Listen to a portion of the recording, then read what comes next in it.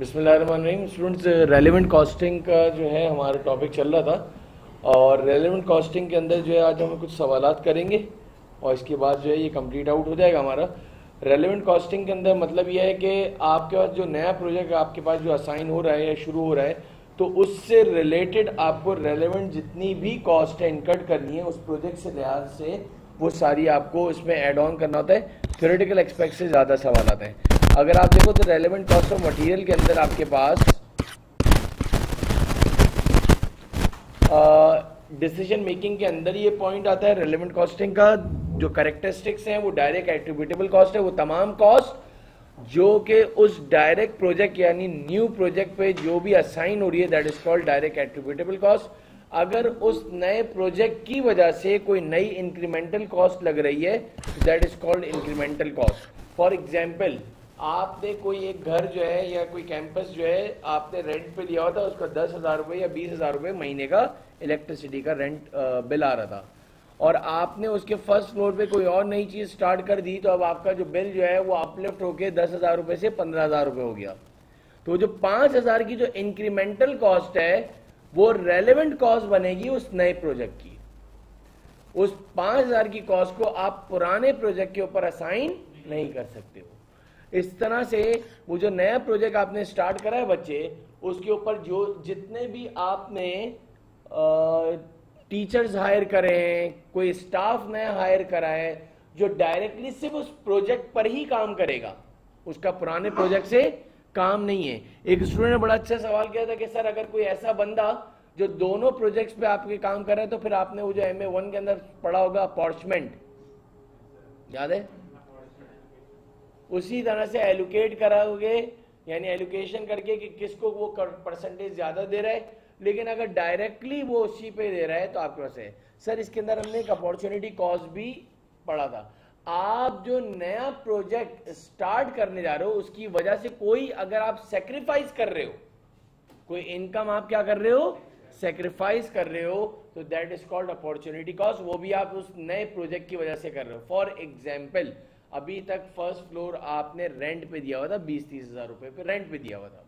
तो वो बीस तीस हज़ार रुपए का जो भी रेंट था, वो खत्म करके आपने खुद उस फ़र्स्ट फ्लोर पे पूरा कैंपस स्टार्ट कर दिया। अब वो देखा जाएगा कि आगे उसका क्या ओवरकम आता है और उसका क्या रिज़ल्ट आता है। लेकिन अभी आपने लेटेस्ट ये है कि आपने पंद्रह हज़ार रुपए का सेक्रीफाइस दिया, देखिए आपने फ़ौरन घर खाली करवा लिया। बहुत सारे लोग ये भी तो करते हैं यार, आज तक रेंटल प्रॉपर्टीज़ के ऊपर काम कर रहे थे लोग। एक बंदी जो है सैलरी आ रही थी दैट इज़ फिफ्टी थाउज़ेंड और किसी ने बोला कि यार, एक काम करो, अब अपना ऑफ़िस स्टार्ट कर दो। अब अपना अपना ऑफ़िस स्टार्ट करना है तो खुद जब रेंट पे जगह लेने के लिए निकले तो लाख लाख रुपए की जगह मिल रही है। किसी ने कहा, यार, जो घर बंद है जिसको तुमने जो है, गोडाउन के तौर पे इस्तेमाल कर रहे हो उसी को घर बना दो। कि तुम्हारे टायर विला से इधर से स्ट्रीट हम जाते हैं 600-800 गज के। जितने भी मेन पट्टी है वो सारी कमर्शियल होती जा रही है। Yes, सारे ऑफ़िस बनते जा रहे हैं। था तो रेसिडेंटल ना?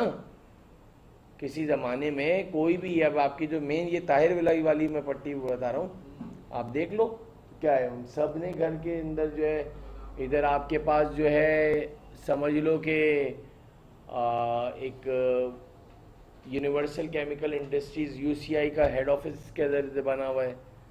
ताज आई के बिल्कुल बराबर में हमारे कज़न है। बहुत बड़ा काम था। शार फैसल पे इधर इन्होंने जो है, दस पंद्रह बीस करोड़ रुपए का ये प्लॉट लिया। इधर इन्होंने कमर्शियल काम शुरू कर दिया क्यों? वजह क्या प्रेमिस का? कि उधर तो था, एक और ऑफ़िस लेना था। यानी क्या करा? पता चला वो पहले से ही घर था इनका। इन्होंने रेंट पे दिया हुआ था। अब उसी के अंदर इन्होंने पूरा आईटी और ये और परचेज डिपार्टमेंट और सेल्स डिपार्टमेंट सारे बना दिए। तो अगर देखा जाए तो उनको ये रेंट सेक्रीफाइस करना पड़ा होगा। जो भी मिलता होगा एक्स वाई जी जो भी है whatever must a cash flow cash flow के फॉर्म में होना चाहिए। Relevant cost do not include याद रख लो कि आपने वो जो प्रोजेक्ट स्टार्ट करने से पहले जितनी भी कॉस्ट लगाई है पास्ट कॉस्ट सन कॉस्ट वो उस प्रोजेक्ट में इंक्लूड नहीं होगी। कमिटेड कॉस्ट जो है आपके पास नहीं आएगी एलोकेटेड कॉस्ट नहीं आएगी, ये आपका अभी थ्योरी के हम सवाल ले लेंगे तो आप ये देख भी लेना। रेलिवेंट कॉस्ट ऑफ़ मटेरियल में अब आपके पास क्या है? अगर वो रेगुलर यूज़ में, ये सर, ये शुरू में क्या बताया था? ये एक डेफिनेशन थी रिगार्डिंग रेलेवेंट कॉस्टिंग अब आया इसके अंदर रेलेवेंट कॉस्ट फॉर मटेरियल तो उसमें बोल रहे हैं कि अगर मटेरियल आपका रेगुलर यूज़ का है तो यस तो इसकी रिप्लेसमेंट कॉस्ट आज की कॉस्ट में को जो उस मटेरियल की रिप्लेसमेंट पे जो मटेरियल आएगा, वो आ जाए या कोई सब्सिट्यूट इख्तियार कर लिया, उसकी कॉस्ट जो है वो रेलेवेंट कॉस्ट बन जाएगी। अगर वो रेगुलर यूज़ का नहीं था, यानी शादिर और नादिर यूज़ होता था, वो मटेरियल यूज़ हो रहा है जो हमें नया ऑर्डर मिला है। तो वो नो तो फिर अपॉर्चुनिटी कॉस्ट के अंदर आ जाएगा कि हायर ऑफ़ इसमें से जो भी हायर होगा, उसको लेके जाएँगे। स्क्रैप वैल्यू या फिर आपके पास बेनिफिट फ्रॉम ऑल्टरनेट यूज़ सारी चीज़ दी हुई होती है। सवाल सबसे पहले तुम खुद पढ़ोगे, इसके बाद तुम उसका जवाब दोगे। सबसे पहले before further moving to the next point ये आप लोग हैंड आउट आज आपकी फ़िज़िकल क्लास भी स्टार्ट हो गई तो आप लोग जो है, ये एक हैंड आउट दे दो बेटा। सारे क्लासेस वालों को दिए हुए थे, जितने भी चैप्टर्स हुए हैं। उस वक्त हमारी क्लासेस जो है, ये थी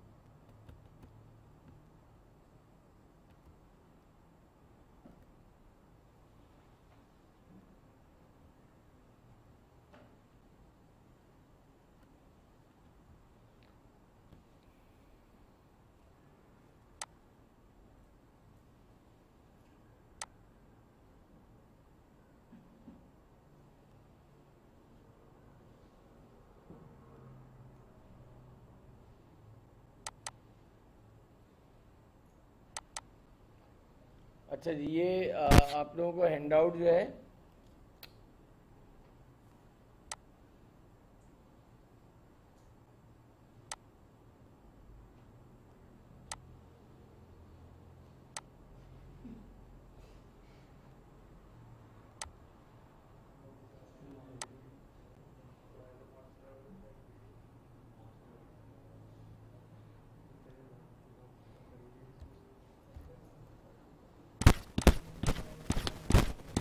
ये वाले इसका एक वर्ड की डॉक्यूमेंट आपको आज दे दूँगा तो इसके अंदर आपके पास शुरू में आपने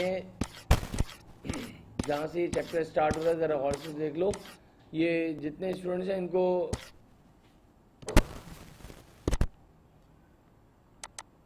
स्क्रीन शेयर हो रही है भाई, ज़रा देख लो।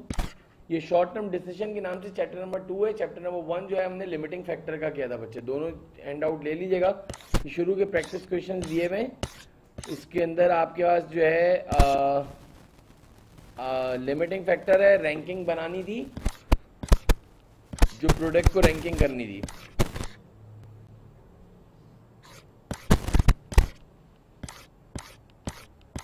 फिर इसमें हमने मेक और बाय डिसीज़न भी कर लिया था। कर लिया था ना make or buy decision make or buy decision में आपको दिखता है कि एक्स्ट्रा कॉस्ट किसमें सबसे कम से कम लग रही है, उसको हम बनवा लेंगे और जिसकी महँगी कॉस्ट है वो खुद बनाएँगे।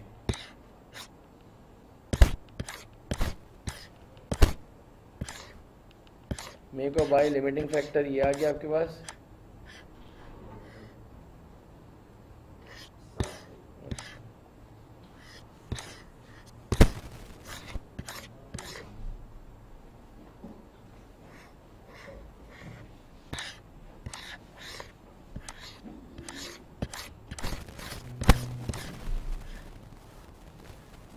मल्टीपल चॉइस क्वेश्चन हैं। लिमिटिंग फैक्टर के बेटा।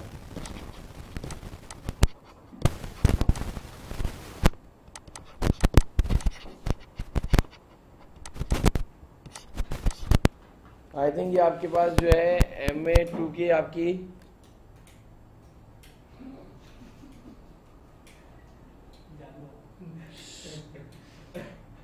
क्या कह रही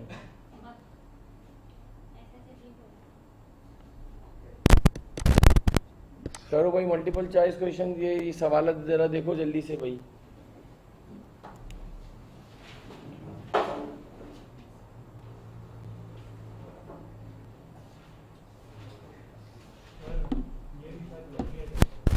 कर लिए सारे? सारे हो गए?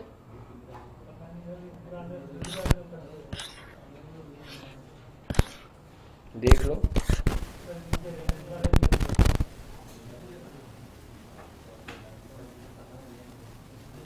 जुनेद कौन है? Junaid.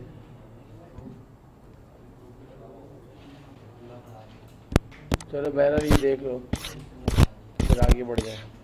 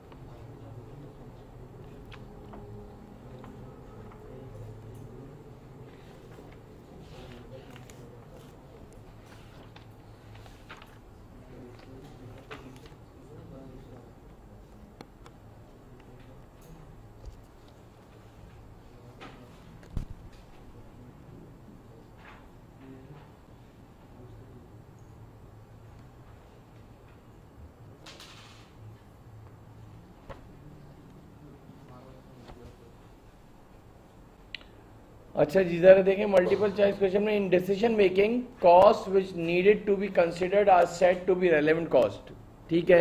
Which of the following are the characteristic associated with relevant cost यानी इसमें से आपने कौन कौन सी जो है कॉस्ट है जो कि आप कंसिडर करते हो रेलिवेंट कॉस्ट के साथ ना? तो इसके बाद फ्यूचर कॉस्ट है अनअवॉइडेबल कॉस्ट है इंक्रीमेंटल कॉस्ट है डिफरेंशियल कॉस्ट है। तो मेरा ख्याल अनअवॉइडेबल हमने कहीं पे भी नाम नहीं सुना था। या अनअवॉइडेबल जो है आपके पास कहीं पर भी हमने नाम नहीं सुना था इसके अंदर। हाँ फ्यूचर कॉस्ट सारी रेलेवेंट कॉस्ट जो है आपके फ्यूचर पे ही रिलाई करती है। और आपको बताया था कि ये सारे डिसीज़न मेकिंग होता ही फ्यूचर बेस के ऊपर है। और इंक्रीमेंटल कॉस्ट तो हमने इसकी डिफरें जो है डेफिनेशन में पढ़ा ही था। डिफरेंशियल कॉस्ट के अंदर भी हमने पढ़ा था। जिसके मेरे ख्याल से आपके पास आंसर जो हो गया सी आंसर हो गया इसका।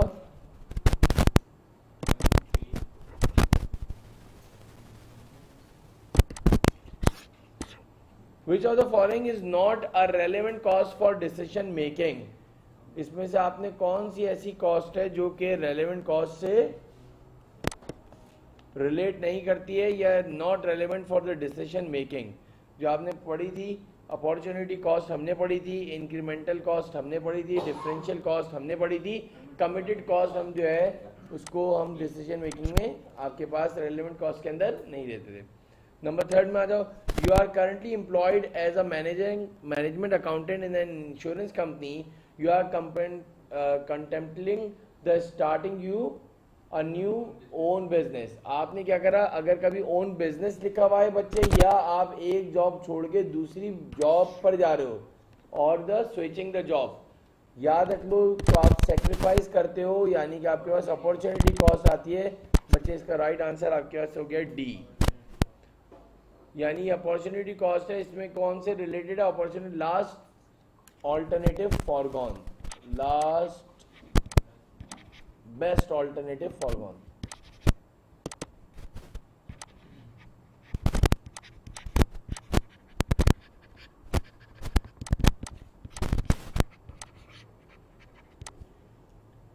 fourth में आते हैं Sue is considering starting a new business he has already spend 5000 on market research and intent to spend a further 2000 सही कह रहे हो ये वाले सवाल तो हमने शायद कर लिए थे हमें याद पड़ रहा है। In the assessment of the relevant cost to be decision to set up in the business what are the market research cons, uh, cost considered to be? पाँच हज़ार रुपए तो ओरिजिनली लग चुके हैं लेकिन ये कंसिडर किया जा रहा है कि मजीद और दो हज़ार रुपये और मजीद स्पेंड होंगे। आपकी अभी वो रिसर्च कंप्लीट नहीं हुई है या आप अभी तक जो है आ, कोई डिसीशन पे नहीं आए हो तो अभी आपको मजीद जो है कुछ सर्वे करना बाकी है। इसके ऊपर शायद मैंने आपको एग्ज़ाम्पल दी थी कि अगर आप घर खरीदने जाते हो तो आप घर की जो है लोकेशन सबसे पहले मैटर करती है किस जगह पे ले रहे हो। फिर आप इसको जो है दो तीन मरतबा जब तक के विज़िट ना कर लो। कहा जाता है कि जब वो घर ले रहे हैं या कोई इंडस्ट्री या कोई फैक्ट्री खरीद रहे हो तो जो ओनर हजरात हैं या जो पुराने लोग हैं जो बिजनेसमैन हैं वो बोलते हैं उसको दो तीन वे से चार पाँच मरतबा जो है डिफरेंट डिफरेंट जो है टाइमिंग्स में जाके देखते हैं। इसके बाद वो इसका एक इतना बड़ा कैपिटल एक्सपेंडिचर का जो है वो एक डिसीज़न लेते हैं। तो आपके पास जो है वो नंबर फोर्थ के अंदर आप, आपके पास आंसर आ गया था। मेरे ख्याल से पाँच हज़ार संक कॉस्ट हो गई थी और दो हज़ार आपके पास क्या हो गई थी? इंक्रीमेंटल कॉस्ट हो गई थी। कि अभी आपका फर्दर ऑल है अलहमदिल्ला ये इसके अंदर जो है, आप एग्ज़ाम्पल याद रख लेना रेलिवेंट कॉस्टिंग के अंदर तो आपके लिए वो ज़्यादा आसानी हो जाएगी बच्चे। नेक्स्ट क्या है आपका? A firm has some material which originally cost rupees forty five thousand कितना था? Originally it has scrap value of twelve thousand five hundred but it rework at a cost of seven thousand five hundred and could be sold for seventeen thousand five hundred अगर उस पर कितने का खर्चा करवाया जाए? तो वो कितने का बिक जाएगी? यूँ ही कर रहा था, जरा देख लो। तो आपके साढ़े सात हज़ार आ गया था ना? और स्क्रैप वैल्यू कितनी आ रही थी? बारह हज़ार? और मेरे ख्याल से हायर ऑफ़ लेने का बोला था शायद। दस हज़ार। दस हज़ार ये आ गई। लेकिन हायर ऑफ़ लेना है ना? क्या था? ऑप्शन में क्या दिखा बताओ? आपका हायर ऑफ़ था ना? There is no other foreseen use for the material what is the relevant cost of using the material of for the special job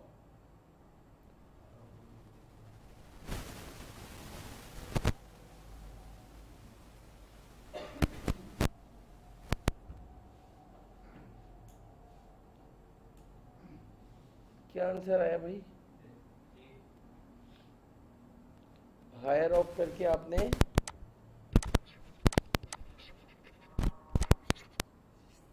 twelve thousand five hundred. Your company regularly use material X regular use का है yes अगर regular use का है तो फिर आपके पास उधर no वाले ऑप्शन पे जाना ही नहीं है। सबसे पहली बात ये। And currently has an inventory 500 G of for paid dollar fifteen hundred two weeks ago 500 kg पड़ी हुई थी और 1500 रुपए आपने of which it paid 1500 two weeks ago 1500 रुपए की आपने इन्वेंट्री दे दी 500 kg. If this were to be sold as raw material it could be sold today for two dollar per kg. अगर आज बेची जाए। अच्छा हमने 1500 रुपए की जो ली है, ये इन्वेंट्री आज से पहले तो मेरा सवाल ये है, कितना पाँच सौ के जी लिए ना? तीन रुपए पर के जी हो गया मेरे ख्याल से।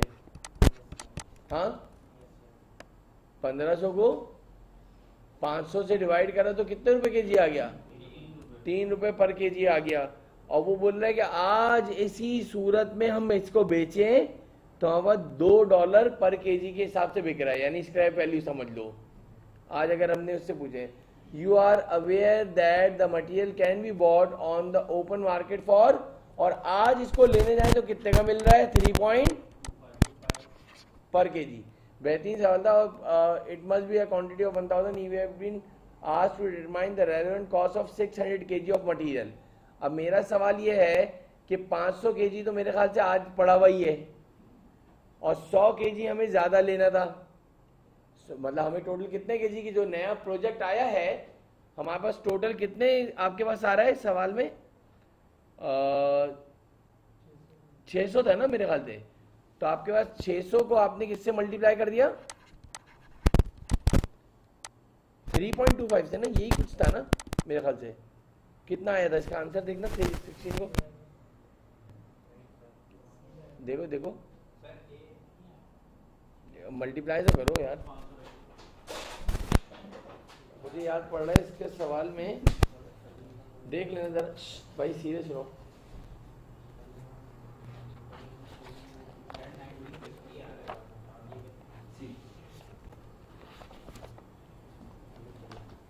नाइनटीन फिफ्टी आ रहा है ना भाई?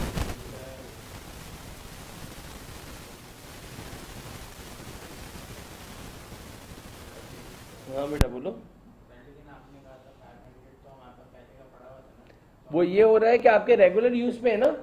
तो अगर हम उसको यूज़ कर लेंगे तो जो हमारे एग्जिस्टिंग जितने भी जो ऑर्डर्स हैं वो कैसे पूरे होंगे? हमारे पास वो जो है रेगुलर यूज़ का नहीं होगा तो उसमें से स्क्रैप वैल्यू लेंगे। अगर आपके रेगुलर यूज़ के अंदर है तो रिप्लेसमेंट कॉस्ट लेंगे। आपके पास इधर से बात स्टार्ट होती है हूँ कि रॉ मटेरियल आपके पास रेगुलर यूज़ का है? इधर देखो जरा भाई।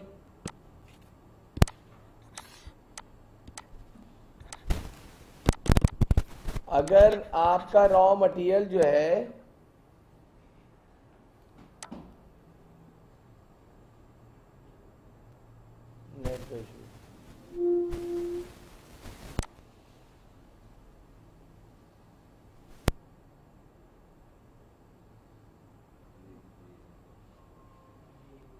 ले लो बेटा, ये पीडीएफ मैंने लास्ट टाइम वाली नहीं भेजी थी क्या?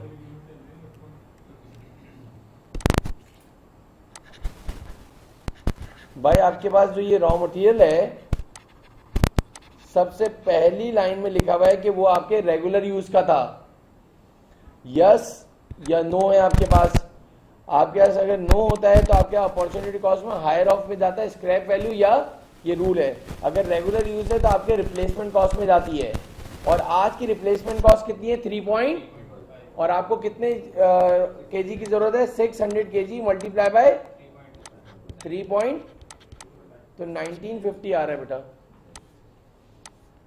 ये सवाल हमने करे हुए मुझे याद पड़ रहा है।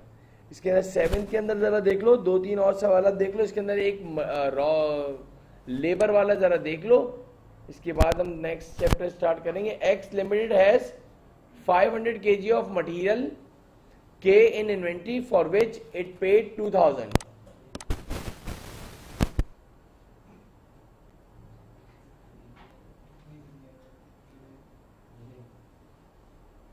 वो तो इसने का ऑप्शन दिया बेटा।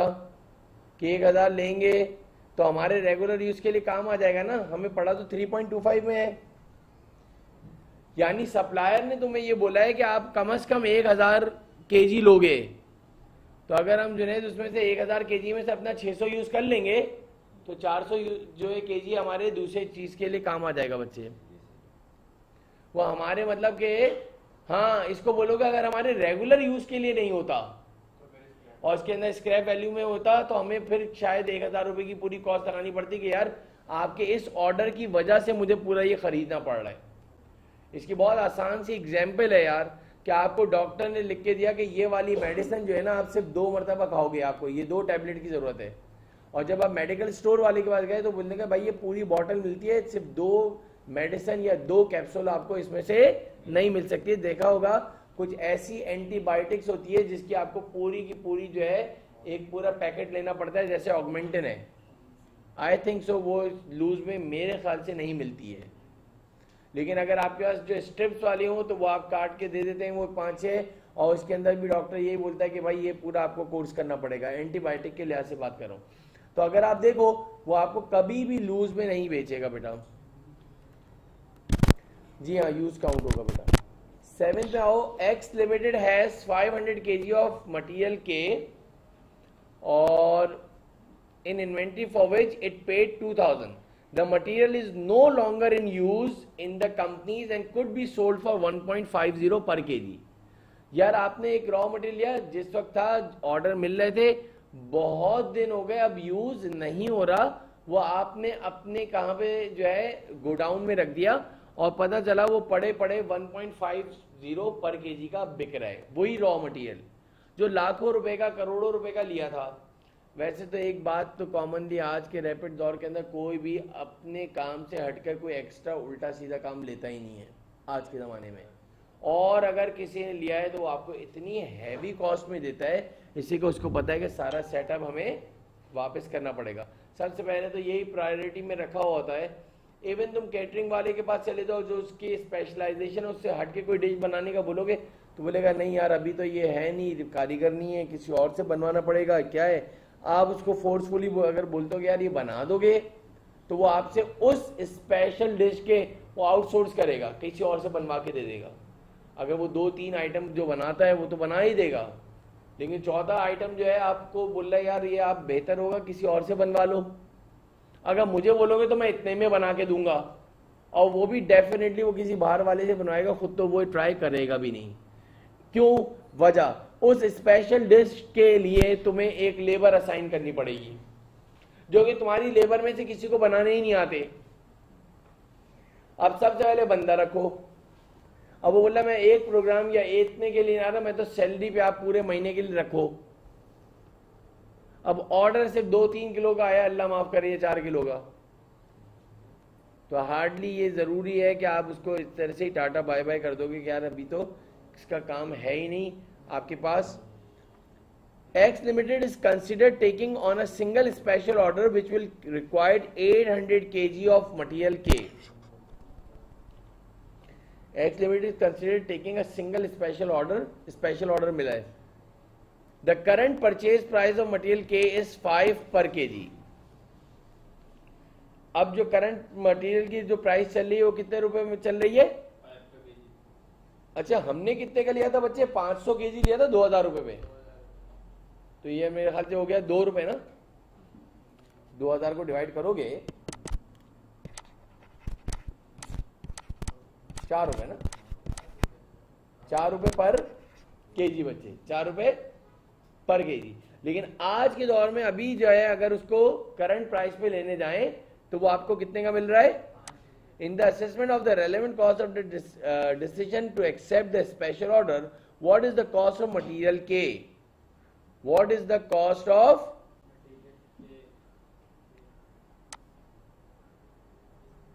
हाँ भाई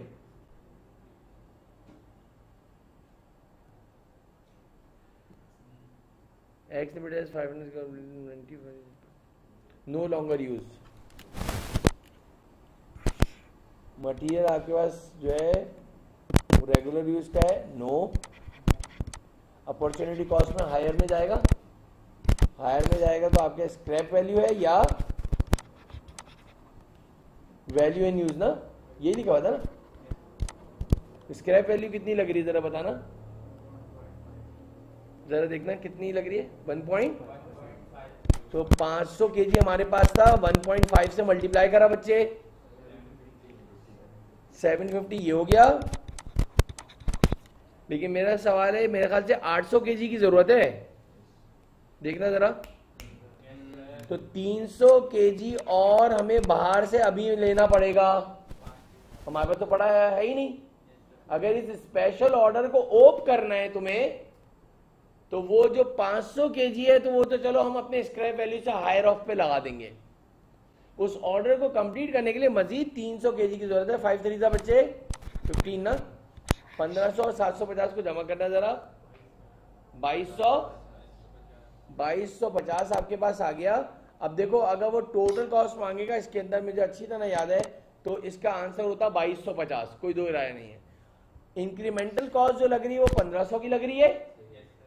और जो आपके अपॉर्चुनिटी कॉस्ट है, वो कितनी लग रही है? 750 बेटा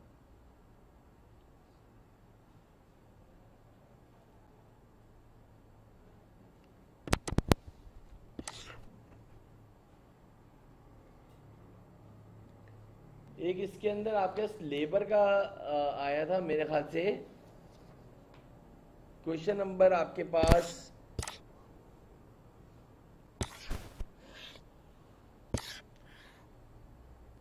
इलेवन देखना भाई। ठीक ना? इलेवन करवाया था? लेबर वाली डिस्कस हो गए थे? हाँ? ये भी हो गया था? देख लो ये लास्ट भाई।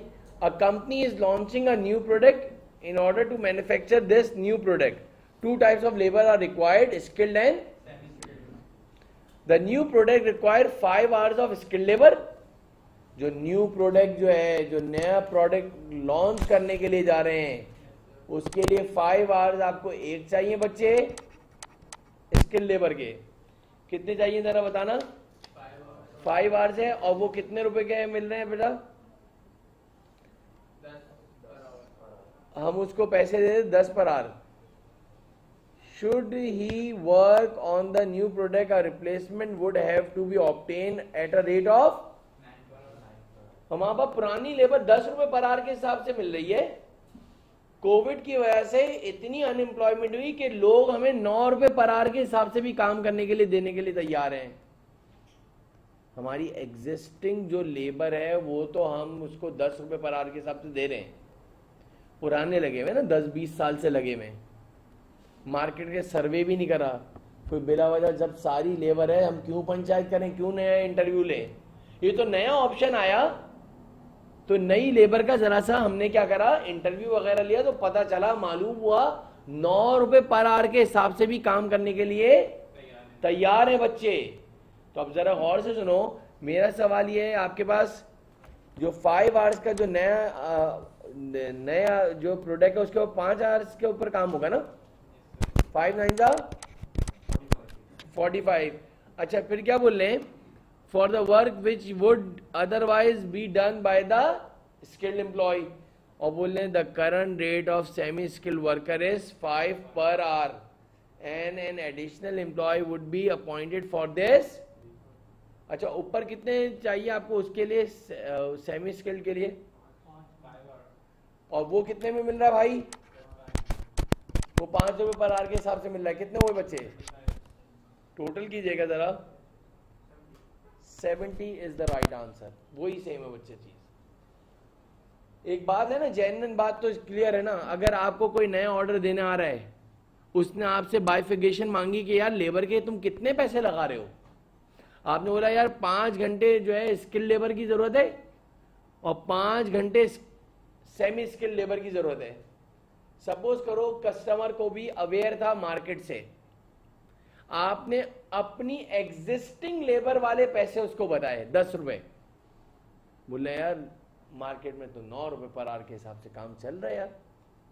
आप दस रुपए पर आर क्यों लगा रहे हो? अच्छा ये तो छोटी एग्ज़ाम्पल है, इसको अगर तुम वाइडर एक्सपेंड पे देखो, यानी पाँच लाख आर्स का काम मिल रहा है नया। पचास हज़ार आर्स का काम मिल रहा है।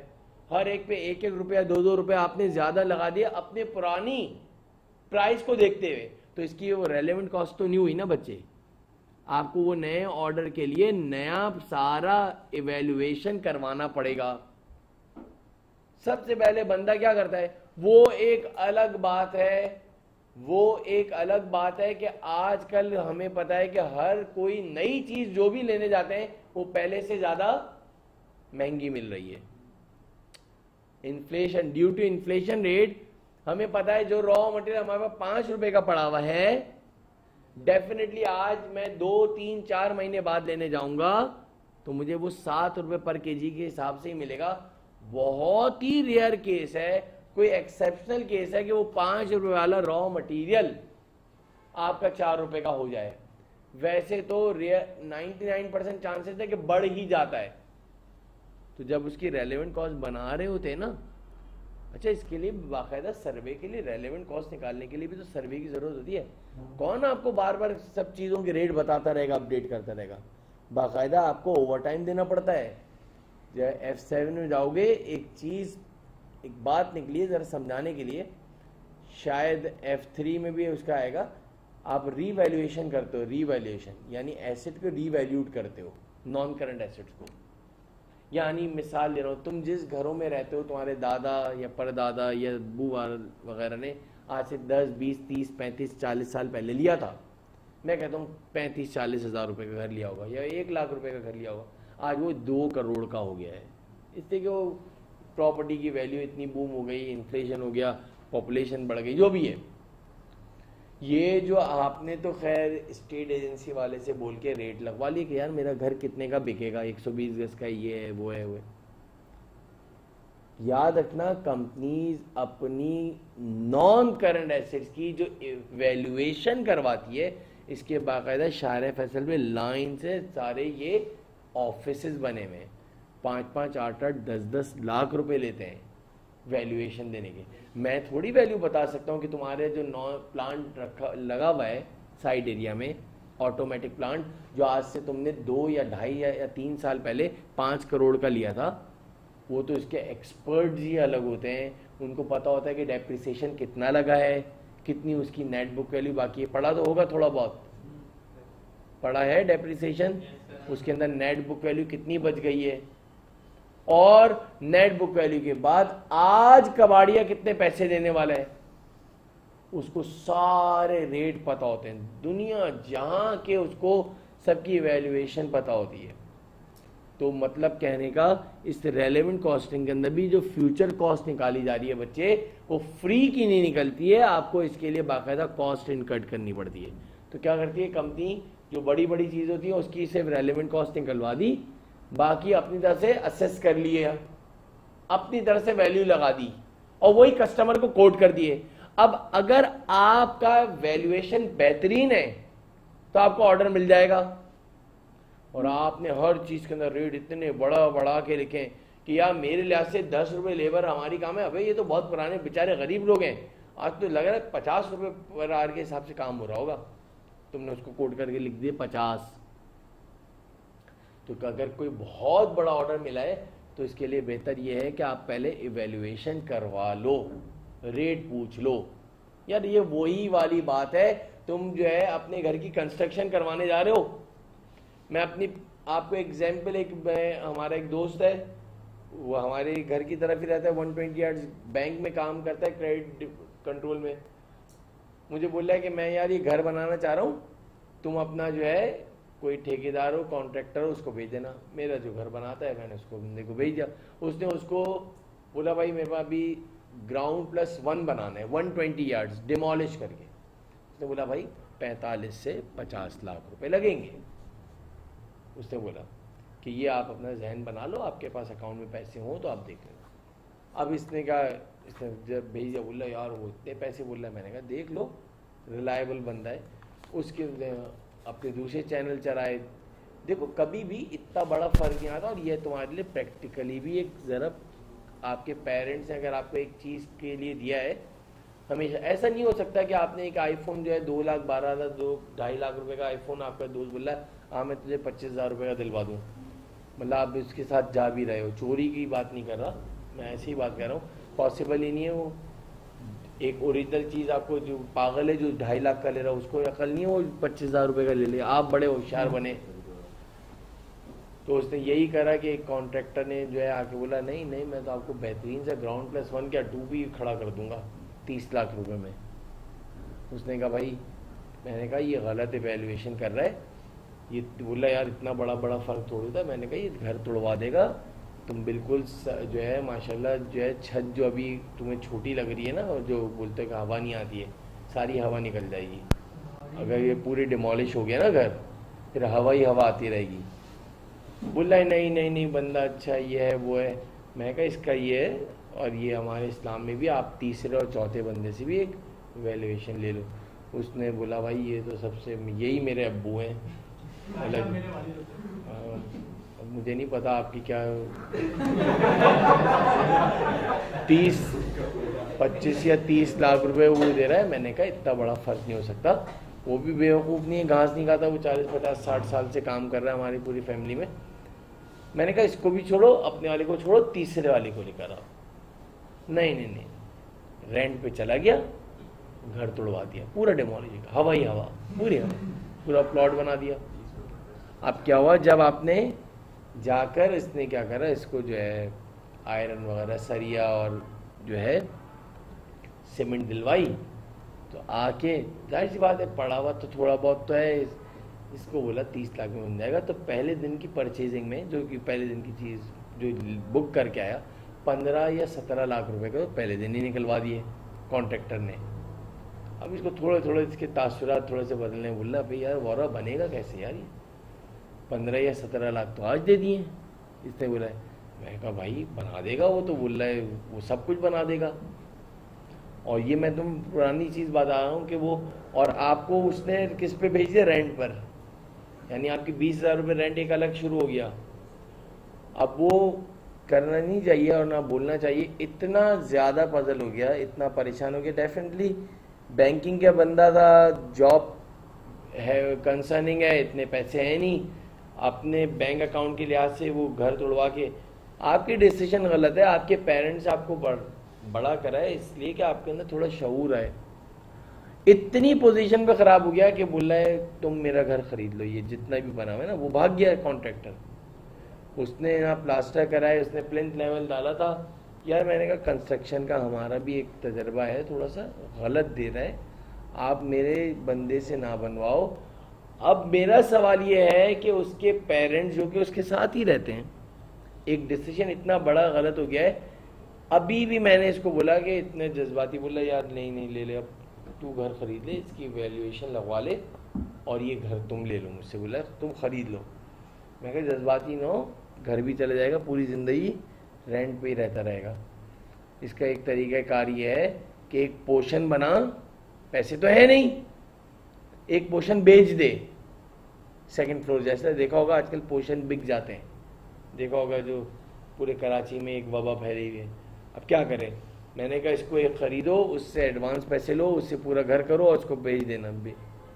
और मैंने कहा, कोई हल नहीं है। और फिर दूसरा हल ये है कि आप रेंट पे रहते रहो या कुछ भी है, और ये घर बेच दोगे, आपको कोई दूसरा घर मिलेगा भी नहीं इतना, इस लोकेलिटी के अंदर।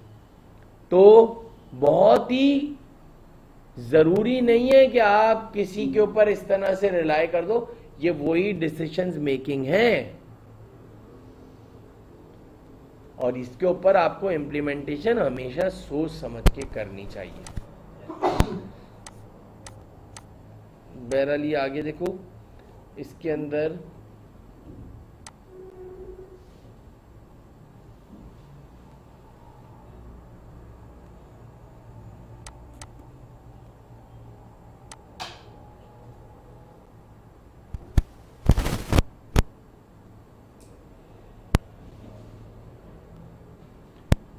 ये आप लोगों को students heading mark capital investment appraisal की हेडिंग आ रही है बेटा?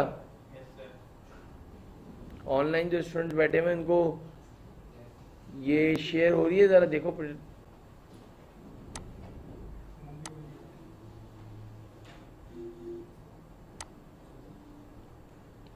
हेडिंग डालो रजिस्टर में जल्दी करो।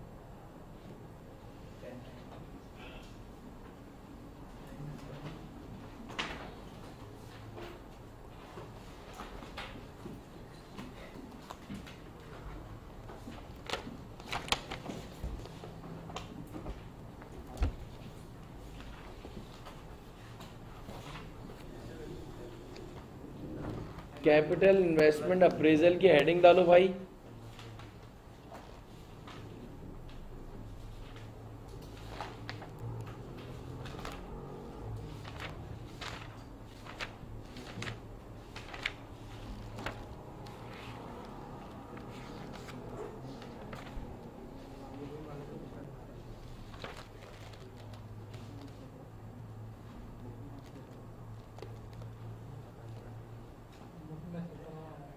चलो भैया, देखो, ये आपके पास डिसीज़न मेकिंग के अंदर ही है ना चैप्टर डिसीज़न मेकिंग के अंदर ये चैप्टर है कैपिटल इन्वेस्टमेंट अप्रेजल थोड़ा सा कैलकुलेशन वाला ज़्यादा काम है।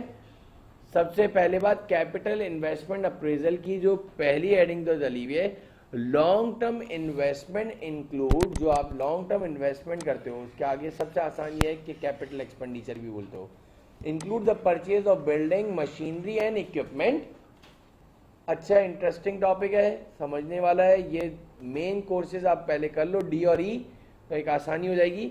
Management will need to have estimate of initial investment future cost and revenues of project in order to make a long term decision interest is the amount of money which is invested earn over time simple interest is interest which earned in equal amount every year.